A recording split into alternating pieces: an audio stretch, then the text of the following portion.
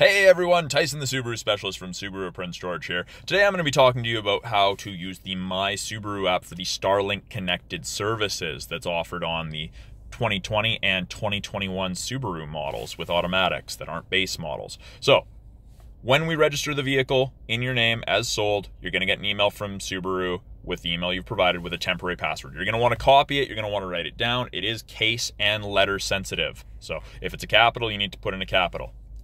You're going to download the My Subaru app, which I have here on the top left of my screen. You're going to select it.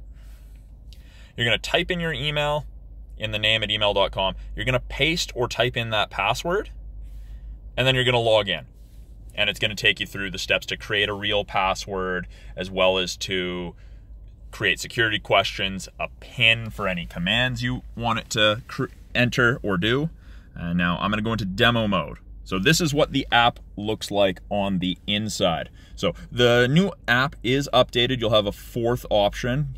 So you have Subaru Starlink connected services, vehicle status, driver alert settings, and you'll have one for support. And support being help. So most of the things that people care about are the connected services. So we click on that, we go into it, and that brings us to this screen with five options.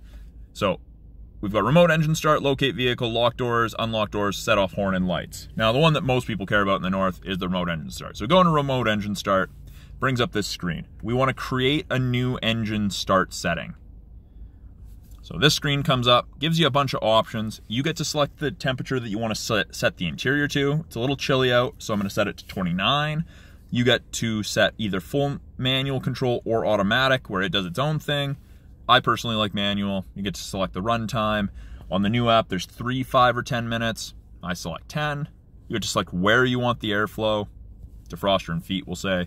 Now, not every vehicle will have the option to turn on the heated seats from the app. If you have a physical switch for your remote start as opposed to a press button on the Legacy or Outback, you can't do this. You just have to leave the switches turned on or off. But let's set the driver to full, passenger to minimum. Now, I'm also going to turn on the heated mirrors, wiper area, and back window. You get to select the fan strength, where you're drawing the air from. Uh, no, I don't want the rear AC on in the Ascent. And I go engine start. You get to select if you want a delay. Lots of the time I don't recommend you do a delay, but it is handy to have. If you're gonna be busy for the next 20 minutes, but you're leaving the house in 10, or busy for the next 10 and leaving the house in 20. So no delay, we hit next. Now this is the pin that you've created. So for, I think for this demo mode, set it. Oh, I went through that too fast, my bad. One, two, three, four. And at the very bottom, you can see sending remote engine start. So it goes from your phone to the Subaru satellite to the vehicle and back, and it'll tell you what time it started. So I selected 10 minutes and it started at 1022. So it'll shut off at 1032. Very handy. I like it. Now, if you decided you wanted to stop it because you're not going out anymore, you go back into the connected services, back into engine remote start, and you can hit the same button, except it'll be highlighted in red, and that will stop the vehicle.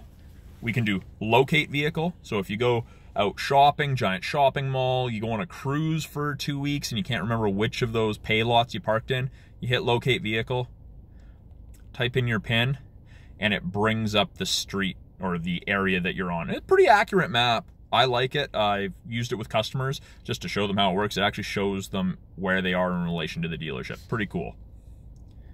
Go back. Vehicle status. So vehicle health report is like check engine lights. What does it mean? You can set maintenance reminders and you can check service campaigns and recalls. Now vehicle health report. It'll give you your odometer, an estimated distance to empty, your average fuel economy, what your check engine light means, engine oil level, and you can kind of get a little information on it.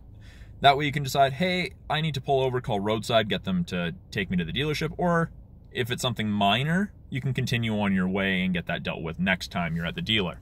At the bottom, it'll give you your dealership that the vehicle was registered at. You can call them.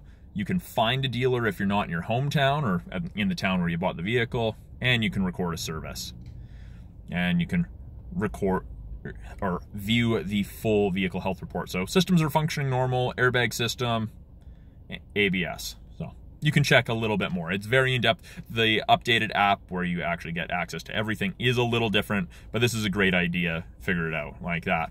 Demo mode, that feature's not available. And then driver alert settings. Parents love this. I'm sure companies love this as well when they buy a fleet vehicle. But if you have a boundary alert, someone's going to be using your vehicle, you can set it so you get an alert on your phone, either text message or email, if your vehicle leaves X area or if it enters X area. You get to choose the size, the shape. I can't adjust the size right now because we're in demo mode, but you can go seven kilometers, you can go five kilometer area. Great if you're trying to keep track of your kids if they're going into a certain area or leaving the area around your house. We've got speed alerts, which I'm sure the company really like, but you get to set the speed that you exceed where you get an alert. So if you hit 120 kilometers an hour and you're hit and you're going 120 kilometers for a minute, they'll get an alert on their phone. Now, if you're going to pass someone and you hit over 120 and you go back below 120 kilometers within that 30 seconds, you wouldn't get that alert. And then curfew alerts. Now, I had a customer who purchased a vehicle for his daughter and it has the curfew alert. She came in a few days later, asked if there was a way to disable that or if we could disable that for her because I guess that she got caught sneaking out uh, because her parents got a notification on their tablet or their phone or their computer. So, curfew alert, couple options. You get to select the day, you get to select the time, you can set additional curfews. There's lots of options. You get to select select a time zone for it. You can name the setting. Like there, there's lots of options. There are more features in the full app, but this is a great kind of overview of how to use it. If you guys have any questions about any of the functionality, please leave a comment below. Uh, message me, whatever works for you guys. I'm here to help. I don't have this in my personal vehicle as I have a 2018, not a 20 or a 21, but this is one of the greatest apps ever. Very user friendly. You can log in on any device. You don't have to have the app downloaded. You can do it through a browser.